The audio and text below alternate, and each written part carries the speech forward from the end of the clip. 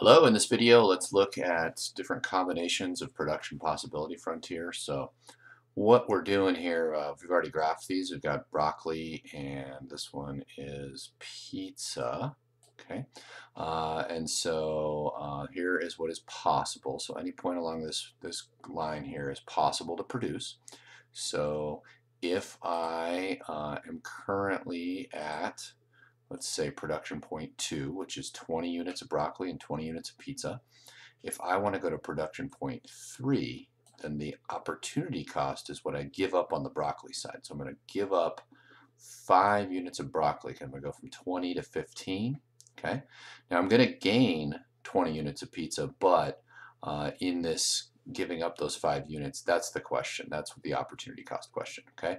Now, when uh, we're headed this way, that means we're going to give up whatever's on the x-axis. So, say I was at 0.5 and I want to go back to 0.2. So at 0.5, that's 80 units of pizza and 5 units of broccoli. Well, I'm going to gain 15 units of broccoli, but that's not the question. The opportunity cost is what's given up. So what I'm giving up is the difference here, which is 60. Okay. Now notice this production possibility frontier, this is a straight line, which means that the units are um, perfectly uh, substitutable. Okay, the, the inputs that we used to make pizza or broccoli, they didn't they, they didn't change.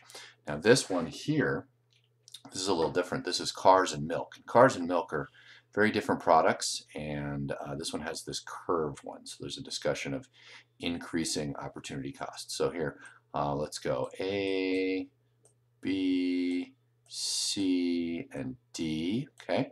And I'll give you a second to just think about it. If I'm going from A to B, what's the opportunity cost there? I'm going to tell you the answer in a second. We might want to pause the video. And going from A to B, uh, we're going to gain one, but that's not the opportunity cost. The opportunity cost is what we give up, and we're giving up 10 units, 10 units of milk, which is really 10,000 gallons of milk per year. Now, if I was going from C, point C, back to point A, what am I giving up? What's my opportunity cost? And that's going to be 2,000 cars, right? So 2,000 cars because we'll go from 2,000 back to zero, okay? Thank you.